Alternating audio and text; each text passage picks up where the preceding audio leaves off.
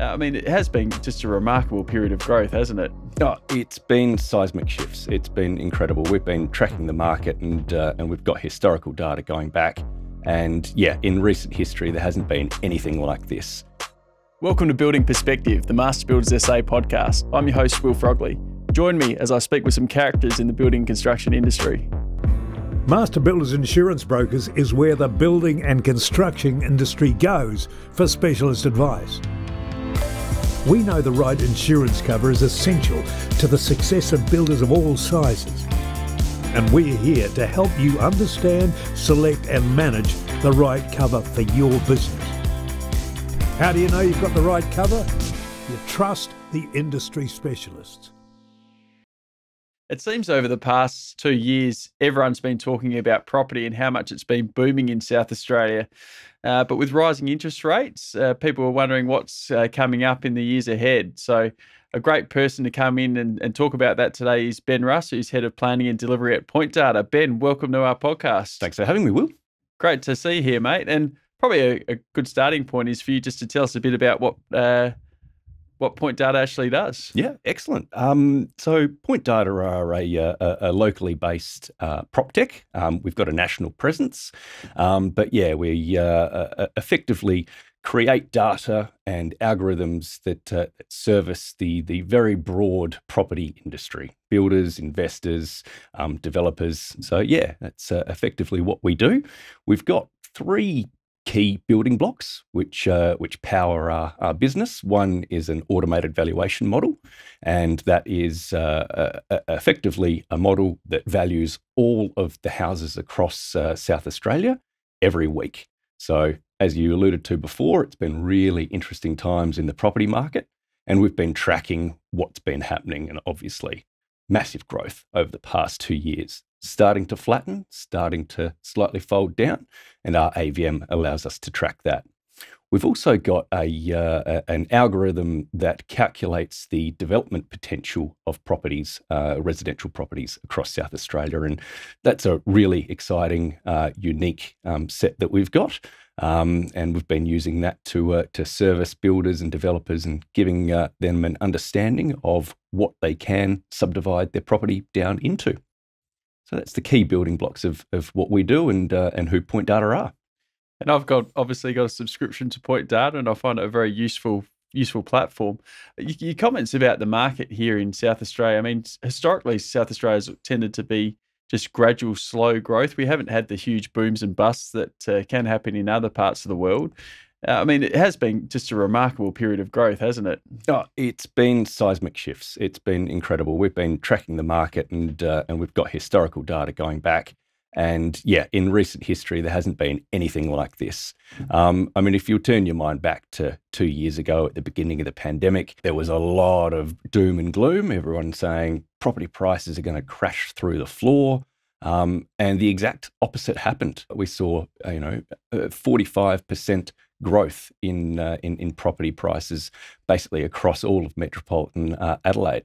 Not every area saw the the, the massive growth. There's uh, different pockets that uh, that have different influences, but in general, it was uh, unprecedented growth. So incredible to see.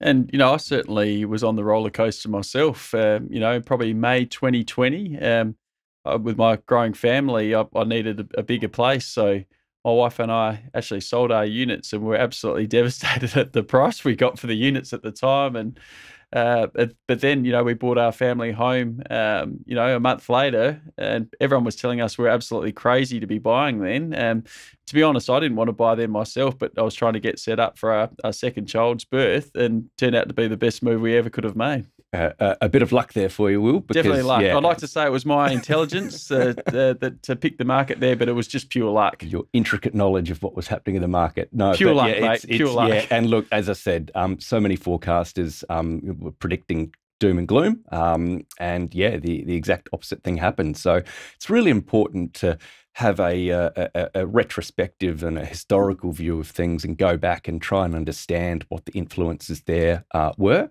And I think we're starting to understand um, some of those uh, big influences. But uh, again, as you alluded to at the beginning of this uh, podcast, the uh, the incoming and and recent interest rate rises are starting to have an impact on property prices and probably correcting some of them back to levels that that are more more reasonable. Um, and how that plays out over the, uh, the, the coming 12 months, especially with the uh, the, the, requirement uh, to get that immigration coming back in. Obviously, skill shortages uh, are a really pertinent um, aspect of uh, of your industry. And so, what impact that'll have, it'll be the balance between interest rate rises and incoming migration to potentially keep things a bit steady. But as I said, that's a prediction. How it actually plays out is uh, to be seen. I have to say, uh, everyone's talking about inflation now and interest rates, but anyone who's who works in our industry has seen it firsthand for a good 18 months plus right now. And that's why when the Reserve Bank was was saying, no, we're not going to raise the cash rate till 2024 or 2025 or or whatever it was they were saying, it just seemed like madness to anyone in our industry because we were just looking at the price of uh, you know steel, timber, etc., going through the roof, and being such a massive industry, we just couldn't see any possible way that the cash rate wasn't going to go up. But I guess you know the the market is starting to cool off a bit um, with those interest rate rises, and, I think the um, uh, correct me if I'm wrong, Ben, but I think I saw the other day that the the median uh, house price in Adelaide had actually gone down for the first time in a long time. Is that correct? For the for the first month, yes, that's correct. If you look at what's happened over the past three months, it's probably still on, on an upward um, trend in, in general. But yeah, some pockets have gone down more than others. Specifically, what we've been seeing in the inner southern and inner eastern suburbs, they've probably started to cool or decelerate um, a, a little bit more than other areas. But they're also the areas that saw hugely significant growth over the past two years. So, what I'm seeing and predicting is still more of a correction uh, in the market. And there are still pockets that are going up. You know, your, uh, your, your particularly your, your northern and, and southern suburbs, which still offer really good value. You know, they have increased, but from a home buyer's perspective, if you can get in, and, and affordability is always, um, you know, the, the, the big question at the moment. But there's still some really good opportunities for for home buyers in those areas that aren't going to um, crash as the market kind of goes through the floor, if that's what people are predicting.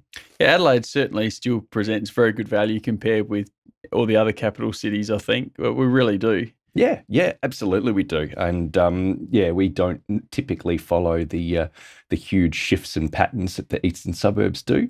Another really interesting thing and a, and a key thing of the Adelaide market, uh, in particular, is the development opportunities that are still out there. So there's still a lot of um, infill development opportunities, and that's come about through uh, uh, uh, you know a long tail of, of government policy, and uh, particularly the uh, the development plans and the planning and design code that's come in. So there are development opportunities out there, and um, if you are hoping to get into the property market now, you buy something now, you live in it for a while, and then you have options uh, potentially on what purchase you've made to potentially develop down the track. I certainly don't want to downplay interest rate rises because I know they're something we're definitely concerned about, and they impact a lot of people, um, their ability to repay their mortgages, etc. Um, but the, the the cash rate's still quite low historically, isn't it? It is, yeah. I mean, I'm not an economist by any stretch of the imagination. I leave that to people who are uh, much more intelligent than myself. But yes, no, it is. And that's why uh, I suppose we needed to have the interest rate rises that, um, that we're seeing now. As you said, there was market forces that needed to be brought under control.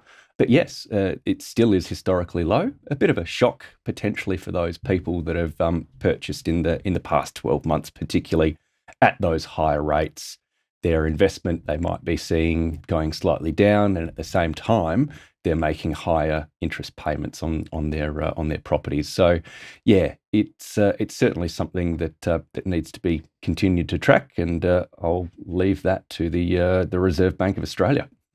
You mentioned the planning and design code earlier, Ben. Now, obviously, uh, getting planning approval is a massive issue for everyone in in our industry. The planning and design code's been in for about 18 months now. I mean, how do you think it's tracking? Oh, that's a, an excellent question, Will. So I'll go right back to 18 months ago when the Planning and Design Code um, came in.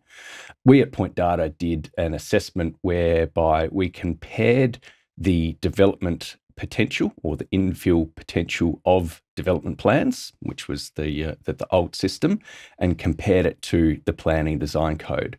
And what we saw as a result of that analysis was actually an increase in the development potential or the properties that could be um, subdivided. And that went from about uh, about 110,000 properties across metropolitan Adelaide up to about 155,000. So, with that increase in potential, you would have expected at this point to see uh, an increase in deposited um, subdivided parcels. But the market hasn't been operating normally uh, over the past uh, 18 months, obviously, the pandemic and what we've just discussed before. So we've seen a little bit of a downturn in parcels uh, and subdivided parcels um, over that period as well. But those that are being subdivided, they're getting slightly higher yield.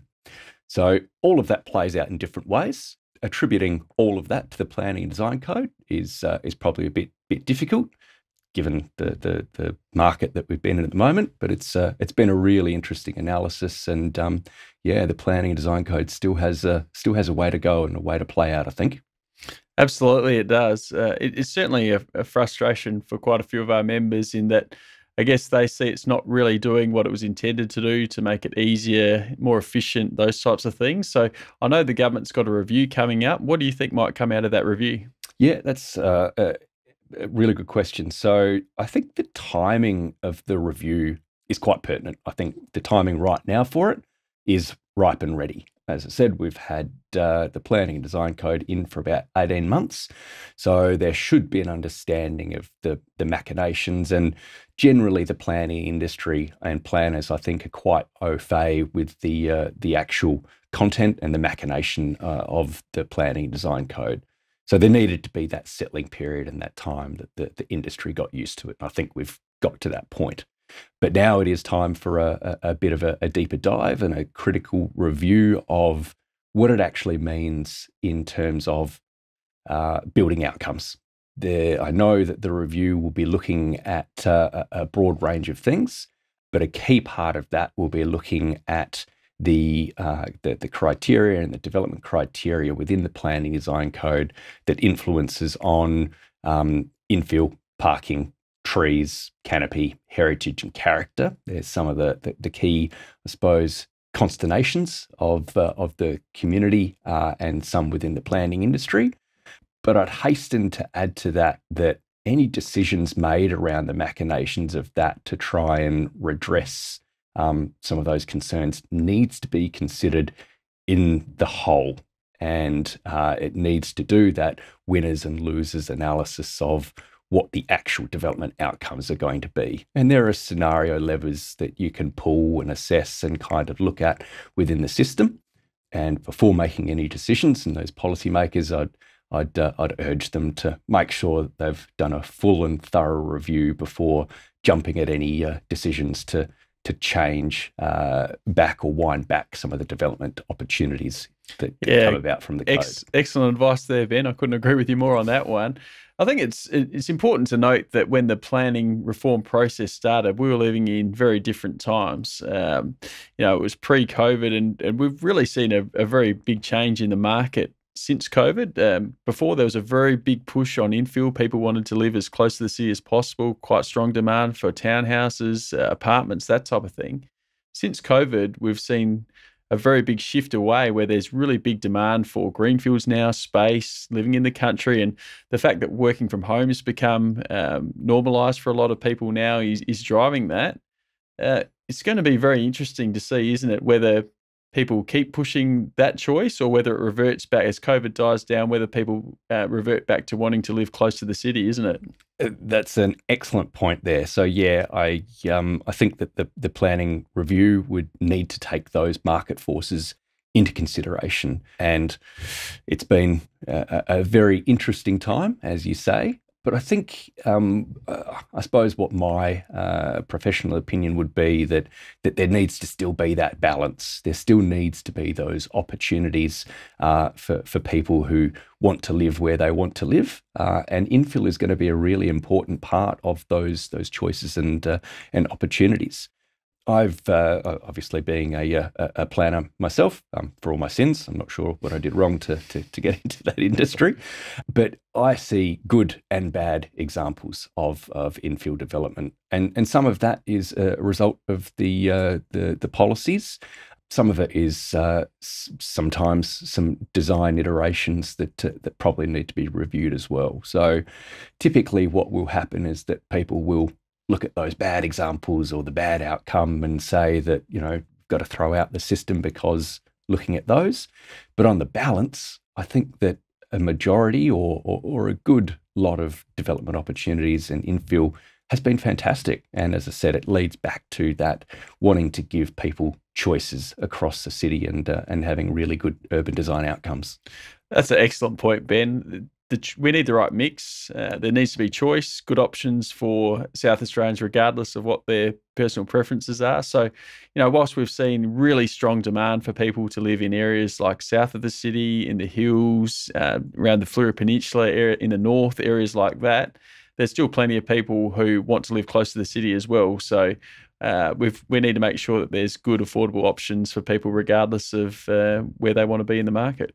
Spot on. Couldn't add more to that. Yep. So, Ben, um, tell us a bit more about um, PointData and what they can offer Master Builders members. Yeah, excellent. Um, so, we've been working with Master Builders for uh, a number of years now, and the, the offers which we um, are giving to the members are always evolving. Uh, I suppose the key one, which we've got uh, out at the moment, and this relates back to our ability to determine what the subdivision potential of properties is. And it's a, a product which we call development site alerts.